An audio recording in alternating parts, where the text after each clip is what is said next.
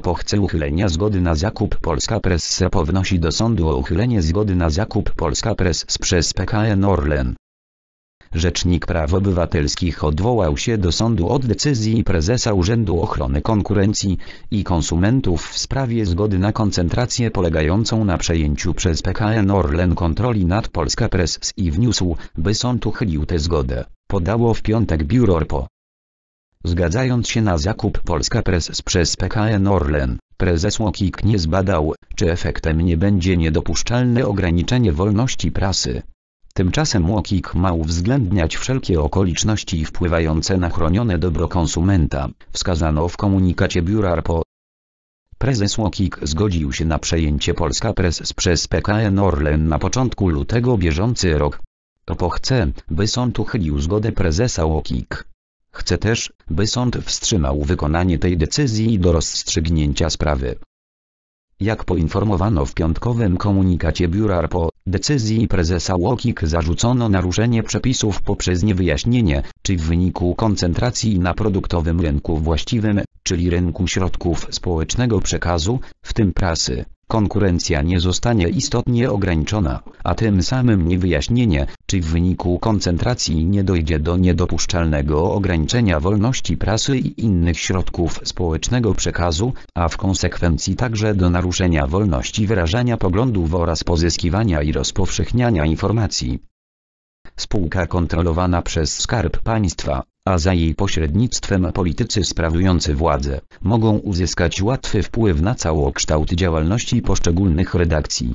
W ten sposób mogą przekształcić wolną prasę, której cechą immanentną jest rzetelny i oparty na faktach krytycyzm wobec władzy publicznej i osób sprawujących funkcje publiczne, zależne od tej władzy biuletyny informacyjne i propagandowe, uzasadnia Adam Bodnar.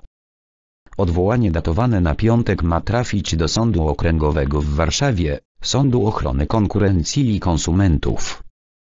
Polska Press informowała w tym tygodniu, że 1 marca 2021 rok podpisana została umowa kupna spółki przez PKN Orlen. Oznacza to, że koncern jest już formalnym właścicielem Polska Press, która wchodzi w skład grupy kapitałowej Orlen. Wniosek o zgodę na koncentrację wpłynął do UOKiK 10 grudnia 2020 rok. Z kolei 14 grudnia UB.rok to podjął z własnej inicjatywy sprawę tej koncentracji.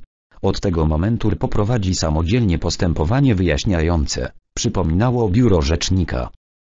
Prezes UOKiK Tomasz Chrustny 5 lutego bieżący rok Zgodził się na przejęcie uznając, że działalność uczestników koncentracji się nie pokrywa, a transakcja nie zagraża konkurencji. W oparciu o wiedzę oraz dostarczone przez strony informacje, a także po analizie rynku i możliwych konsekwencji przejęcia, prezes Łokik wydał zgodę na dokonanie koncentracji, przekazywał wtedy Łokik.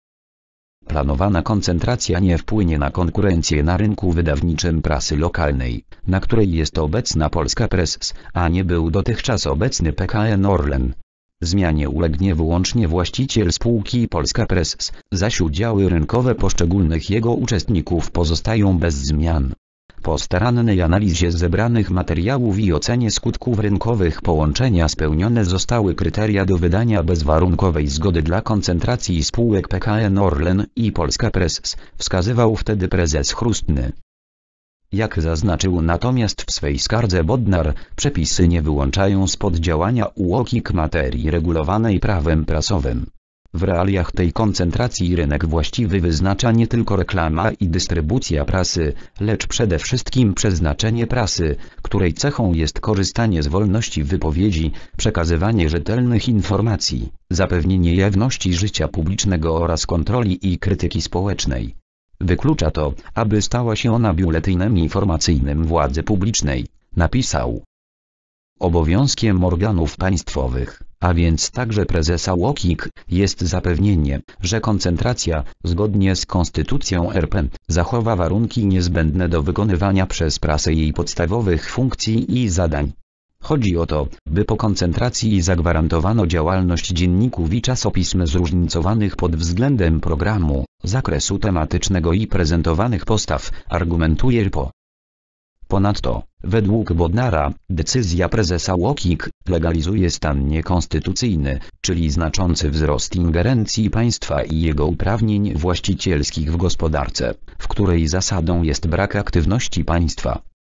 Orlen podkreślał zaś wcześniej, odnosząc się do tej transakcji, że akwizycja jednej z największych grup wydawniczych w Polsce, w połączeniu z wykorzystaniem kompetencji i potencjału agencji mediowej Sigma-Bis oraz spółki Ruch, umożliwi koncernowi stworzenie elastycznej, spersonalizowanej i kompleksowej oferty, która znacząco poprawi satysfakcję klientów. Prezes PKN Orlen Daniel Obajtek wskazywał, że dostęp do 17,4 milionów użytkowników portali zarządzanych przez Polska Press wzmocni sprzedaż grupy Orlen, zoptymalizuje koszty marketingowe i umożliwi dalszą rozbudowę narzędzi Big Data. Orlen podkreślał także, że Polska Press to jeden z największych wydawców w Polsce, który w 2019 rok osiągnął przychody na poziomie ponad 398,4 milionów złotych, posiada 20 z 24 wydawanych w Polsce dzienników regionalnych oraz blisko 120 tygodników lokalnych, które funkcjonują w 15 z 16 województw.